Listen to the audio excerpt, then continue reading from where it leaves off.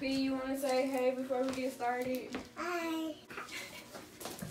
Look, look straight Look. ahead. Say cheese. Cheese. Say hi. Hi. Okay. Bye. Hi. Hey guys, welcome back to my channel. So today is just going to be another frontal wig install video. I'm not going to do too much talking because I do have a very similar video like this on my channel already. I will link that down in the description box. But today I'm just going to be installing my sister's frontal wig and like styling it for her. So yes, I will come back if I feel like I need to talk. But really everything is self-explanatory. And like I said, I do have another video on how to install a frontal wig. So guys, just keep watching and I'll see you throughout the video.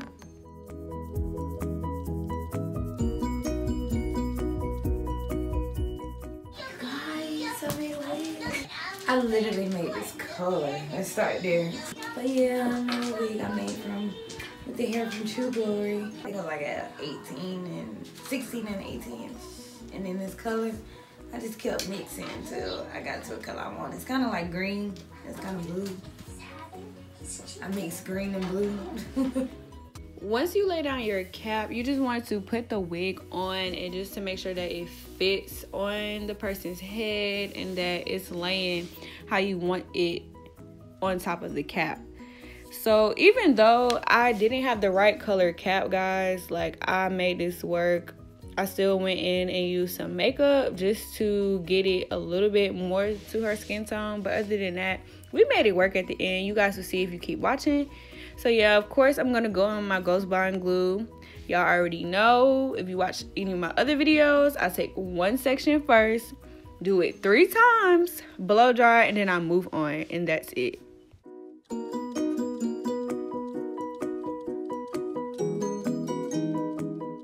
Like I said, guys, this video is really self-explanatory, but I just want to show y'all that it helps if you have your client or whoever to like lift up their head to place the lace in just so it can be exactly where you want it to be. And i just tug the rest just to make sure that the lace is laying right in the glue and that it's sticking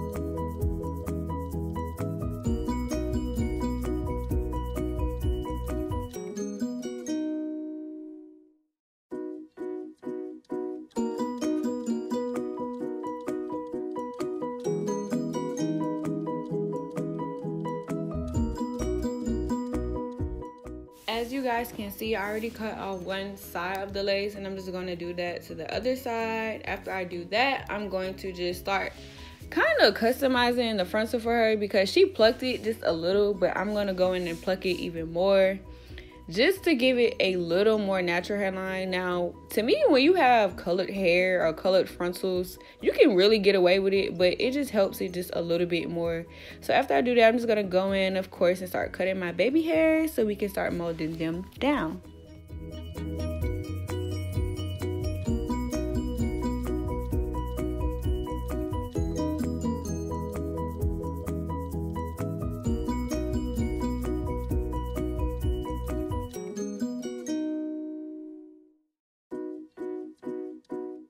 Now, normally when I do my baby hairs, I use mousse, but I haven't had mousse in a minute. I don't know why. I just haven't went picked up any from the store, so I'm just gonna use my Eco Styler gel. And yeah, mow her baby hairs down. Now, if you guys want a real detailed video on how I do baby hairs on a frontal, let me know down in the comments. I am not going to spend my time doing a edges video or whatever if you guys do not want it. So just let me know but yeah, I'm going to do the same thing to the other side and I will come back to you guys when I feel the need to talk.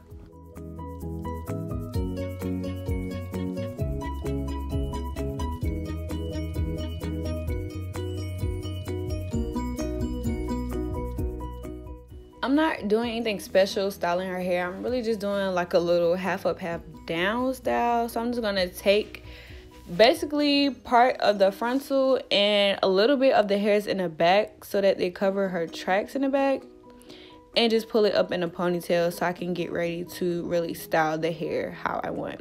So I'm just to twist that up and proceed to flat ironing her hair.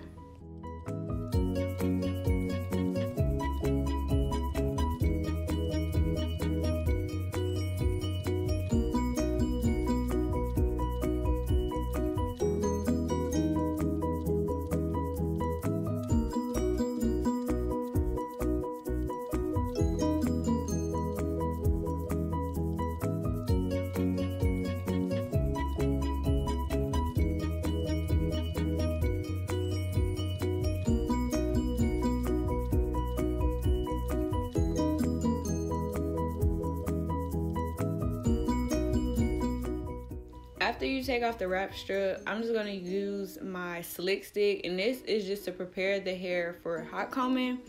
I like the slick stick because it really helps to get the hair straight, especially when you go in with your hot comb. So if you don't have a slick stick or some type of oil to help you press that hair down and get it really like smooth, you guys are sleeping so I'm just gonna use also my um got to be free spray, brush that up to set the ponytail and continue styling.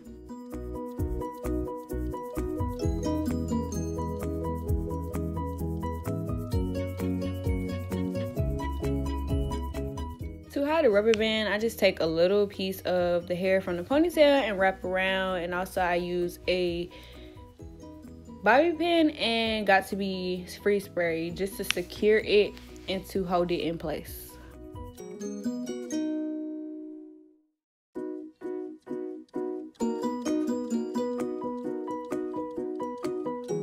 Of course we have to go in with our finishing touches guys to me this is what ties in the style i guess. Like most people don't have to do this with their hair but i always like to go in just with a little powder on the lace just to blend everything together. Like yes my wrap strips and everything else blends in like it looks fine but this helps it to be even more natural if that makes any sense